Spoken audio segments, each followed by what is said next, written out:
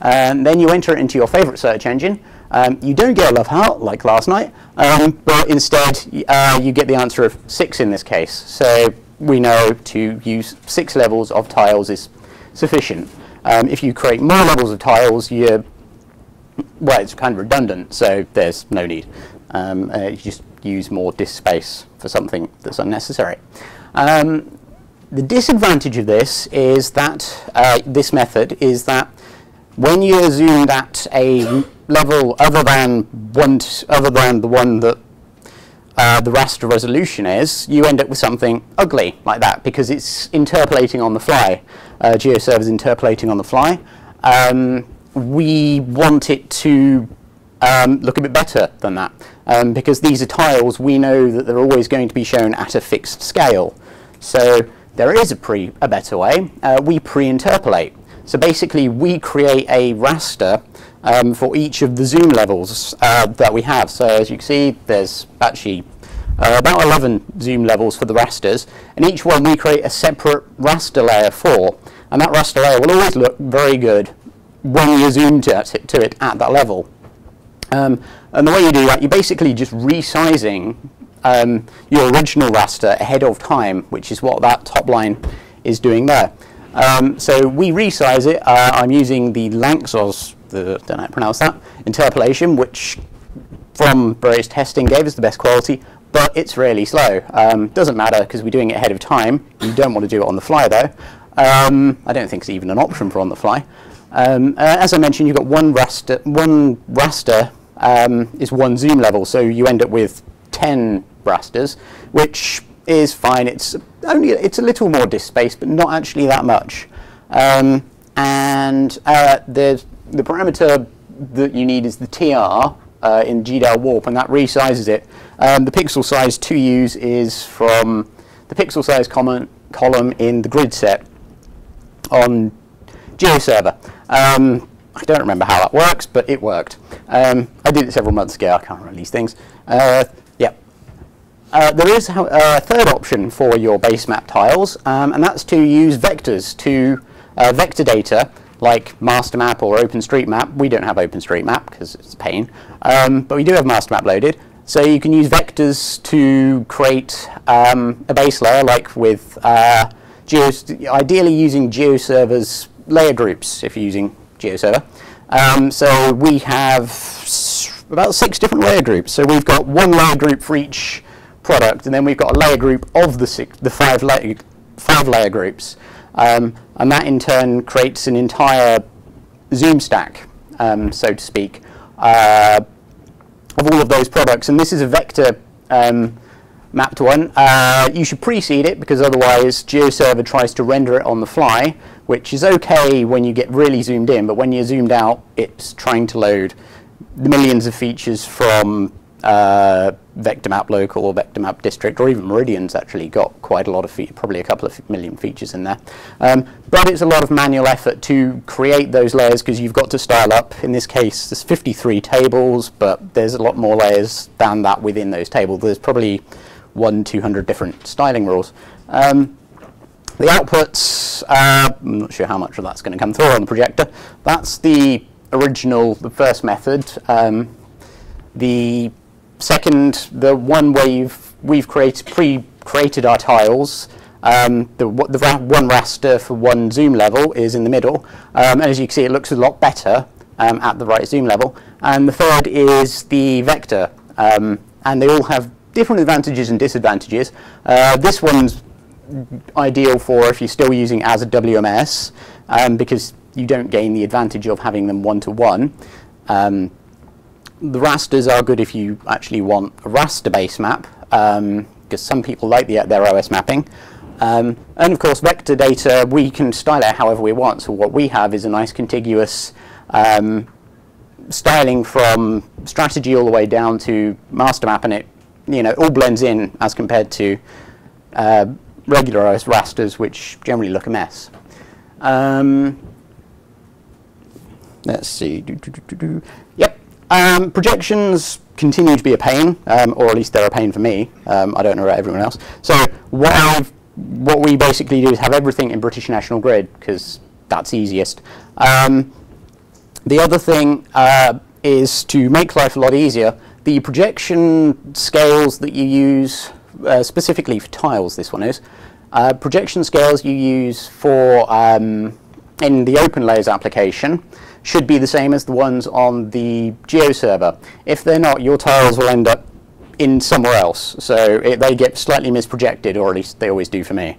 Um, so we, we also worked in conjunction with the OpenStreetMap uh, GB project, and they put their um, they they actually converted their tiles to be the same as ours. So um, everyone else kind of has to use our tiles now for that project. There are a couple of gotchas with OpenLayers. Uh, you do need a proxy um, if you're going to use the WFS, because otherwise it, what will happen is you'll end up um, uh, your browser won't allow you to make the request otherwise because of security concerns. Um, the bigger hidden gotcha is you need to declare your DPI um, in OpenLayers because the OpenLayers uses 72 dots per inch as its default, whereas the uh, GeoServer's dots per inch is 90.714 something. Um, for I don't know why. Um, so if you have the wrong dots per inch, again, your tiles are going to end up in the wrong place. Um, that one took a while to figure out as well. GeoServer has a, well, a couple of gotchas, tips really. Um, lower your WFS maximum number of features. Uh, the default's 100,000, meaning if someone makes a query, they can get up to 100,000 features returned. That'll kill any browser and probably your server. Um, 7,500 is what we it, set it to for our internal systems. For the external systems, we're probably going to set it to 750. That also means that it's harder for someone to perform a denial of service kind of uh, attack on it. Um, the other thing is if you set the, you need to set the response cache headers for each individual layer, um, and you need to do, uh, if you want that layer to be, um, the tiles to be cached on the client side. So you don't have to keep serving out the same tiles again and again to the same users because they're all generally looking at the same sorts of areas. Um, going live, um, smaller is better. Um, we uh, the Go Google bit, the Google Closure compiler, um, to basically turn all of that into one minified file. Uh, minified JavaScript basically being a bunch of gibberish to humans, but it works. Um, it's not much smaller as you can see, um, but it's faster to load, um, and it came with the bonus that the Google Closure compiler actually has a uh, error checking in, which alerts us when someone's done something wrong, uh, which they have this week, but I'm not around to fix it. Uh, so, um, yeah. Uh, we went live uh, cunningly on a Friday afternoon. The idea was to spread the load, so half the council would do it on a Friday afternoon, the other half would uh, log in on um, Monday morning. As you can see, I sent the email like there, um, like a few seconds later, half the authorities on it because they've got nothing else to do on a Friday afternoon. Um, yeah, um, this is, uh, I think, eight cores CPU, so you can see they kind of hammered it. Uh, but it did start up, um, and oh, I went one too far there. Ooh, I'm there. Uh, and there was uh, no lag during it, because again, it's a tile service, it was fine. Um, yep, we got lots of, um, we served about 70,000 tiles that day, uh, peak requesting at 41 tiles a second. Um, the norm since then is about 12 tiles a second, 15,000 a day.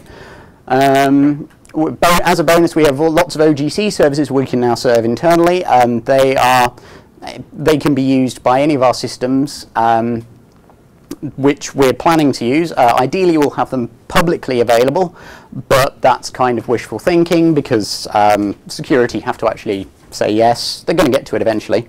Uh, evaluation and conclusions. She's scowling at me. Um, we've had excellent user feedback so far. Uh, very impressive, looks excellent, better than the old system, that's not saying much. Um, yep, um, we also created a video as well, um, saying how to use it, because some users said, we want something, how do we use it? Um, turns out no one ever actually watched it. One person's watched that video from start to end. Um, so, you know, if users say they want training materials, they may be lying. Um, at least ours were. bugs, there are actually, there are bugs, yes, in systems. There, these are sort of just the ones I reported. Uh, I report a lot of bugs. I get a lot of scows, um, especially from proprietary systems, um, because despite the fact that those numbers do look quite bad, it's still better than proprietary software. You report bugs with Esri, goes into the system, they deny it's a bug. Eventually, if they accept it's a bug, it goes to America. You never hear from it again. Um, in this case, we if, with open source, we can pay someone to fix the bug, and it gets fixed.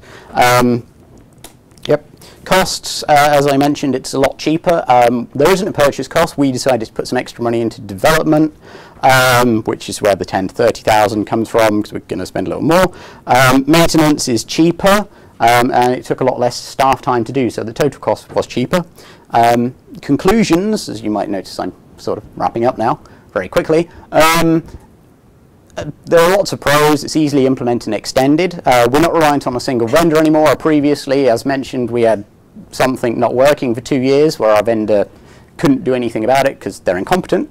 Um, this is being recorded, right? Okay. Uh, I haven't named them, right? Okay. Um, so, you know, we've got a single vendor, they can't do it, but in this case, we have lots of um, vendors. It's a JavaScript client, okay?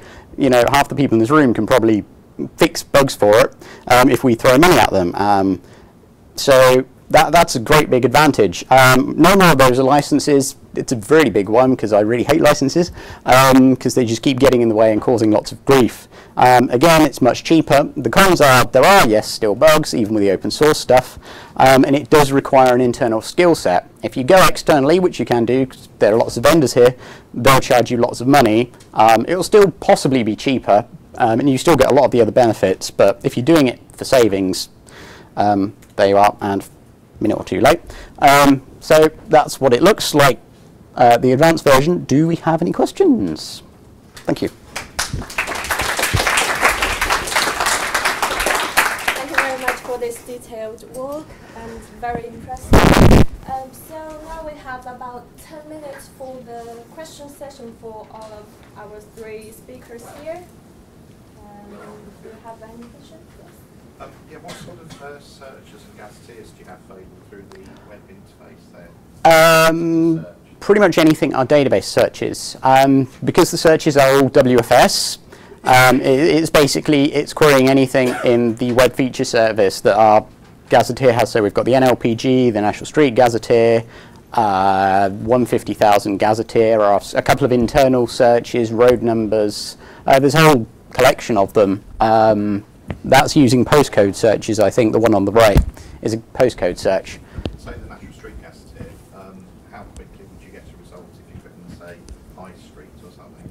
Um, it depends how good our database is feeling that day. Um, you can get a result inside of a second. Sometimes it's a bit slower. Not sure why. Um, we've indexed the columns, uh, some, but it's usually within a few seconds. Um, yeah. Yes. What, what data store are you storing your master? Uh, Oracle, um, because all of the council, the council basically has an Oracle database. That's what we're using, corporate database. I'd like to use PostGIS, but there'd be no advantage because the rest of the authority is still mostly on Oracle, so there won't be any saving there for the authority because we're still paying them five, six figures for nothing. Any more questions? Oh, lots. Catch me afterward if you like, but yes. Thank that gentleman raised the- Well, I just came in um, a a bit late and you just uh, saying about Wombat. um, Yep. But I can see that um, uh, what you've replaced is virtually everything that uh, your intranet uh, service is, and a very brave move. Uh, I've looked at uh, Heron uh, a bit, and um, I got stuck with the kind of MapFish print.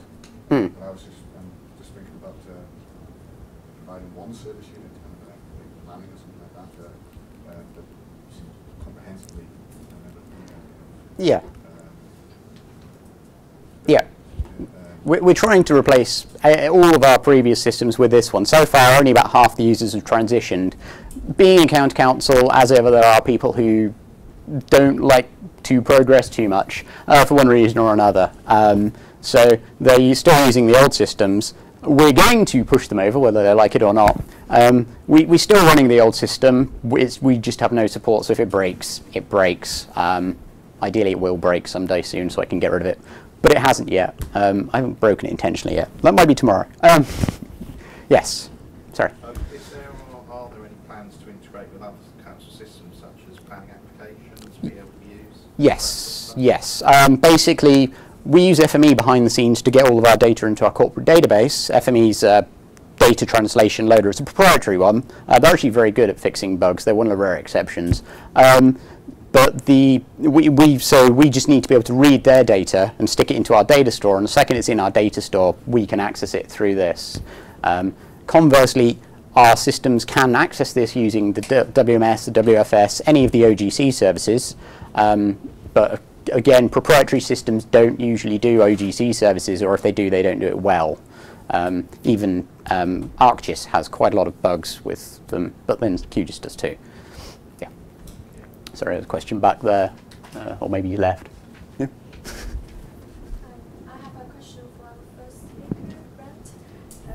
You mentioned a survey tool in one of your demonstrations, and I wonder what kind of hardware it's being implemented on. Like, is it a portable, like mobile phones, or is it a computer? At the moment, it's a survey design tool. Okay. So. So, like. It's, so- it's for random stratified surveys. Mhm. You can create your strata from a basic coastline in QGIS. Mhm. Then create your strata into zones of high, low, medium abundance, whatever. Right. And then generate random transects or points to sample within that strata. Mhm. We have three surveys going here at the moment designed by that. Mhm. And the next step will be to work with the people analysing the survey results. To add an analysis tool to the survey design tool so they can then design the survey, carry out the survey, and analyse the results as part of a single tool. Uh, this, the SilverStripe CMS that you had developed, presumably that's proprietary. No, That's open source. it's totally open source. It's PHP based. It's, So it's, it's PHP based. Its claim to fame was for the democratic, um, the last democratic election. They used the SilverStripe for their website. And as you can imagine, on election night, it got quite a few hits. And it coped faultlessly. So it's, it's not the, it's not the eight hundred pound gorilla like WordPress or Drupal, but, um, it has its own solid user base. The uh, chief technology officer is an ex-GIS person, and the opportunity to work on a tool like this within a CMS was made his heart beat with joy. Um, his boss said the weekend after we interviewed them for this job, I've never seen a German so excited. so, yep. Um, I have another question for our second speaker, just personal interest. um, I wonder, like, for the majority companies and individuals in Korea, like, what's the most popular software, like, just for mapping? 'Cause I know in most areas it will be either ArcGIS or Quantum GIS. I just wonder if that's the same case in Korea at the moment. Actually, around 50% of Korean market is dominate, dominated by uh, Esri product, like ArcGIS and Okay. others. But uh, uh, with the advent of the QGIS, nowadays, the, now we can see the growing number of QGIS, QGIS users. Mhm. Yeah. Uh, just a quick comment, because I'm from China, and I think in China at the moment, most people are still using uh, Esri products And uh, at least that when I was in university, that was six years ago, and I was taught uh, ArcMap 9.2, I think. So, um, so yeah, I think open source software is quite widely accepted in China. That's just my personal uh, point. So, do we have any more questions on this session? I think um, the, you know, we were a bit late. Uh, so the next session starts at quarter past one, so you have about seven minutes. Maybe longer, try and get some food, or maybe you might. Thank you very much for your time. Okay.